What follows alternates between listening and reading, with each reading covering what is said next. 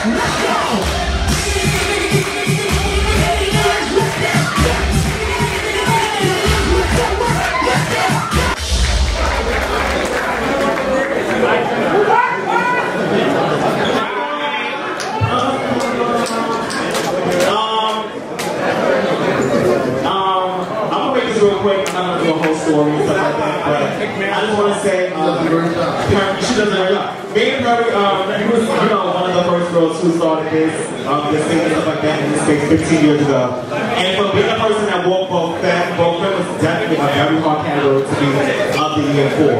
Um, and I feel like this next person has transcended and she's like Charmin won thousands and thousands and thousands and thousands of dollars And it's only right that she get her just deserved because she's here tonight and she wasn't here at the Legends Ball. And it's my honor to be a Vogue Femme of the Year in these doors.